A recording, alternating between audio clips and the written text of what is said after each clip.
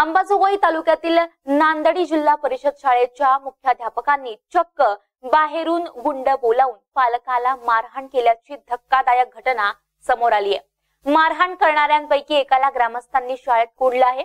पोलिसांच्या हवाली केला आहे. मात्र ज्या शाळेत शिक्षण शिकवलं जात आहे त्याच शाळेत अशा मारहाणीच्या घटना घडल्यानं शिक्षण विभागात खळबळ उडाली आहे. जातीचं प्रमाणपत्र काढण्यासाठी पालक प्रवेश निर्गम घेण्यासाठी शाळेत गेले असता चुकीच्या तारखेवरून दोघात भांडण झाले.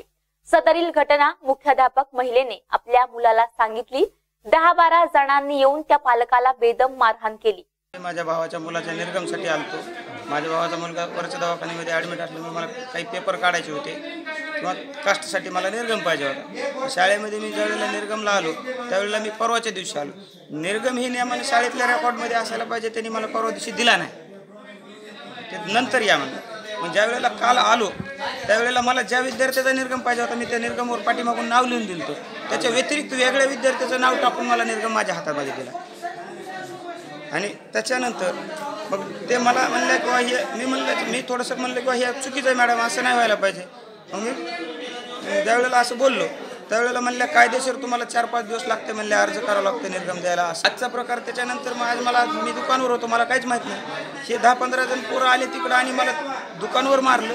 माझे दुकान तिथं गावाच्या बाहेर आहे. तिथं मारून मला तिथून गाडीवर टाकून आणून इथं मारलं. परत मधी घेऊन मारलं.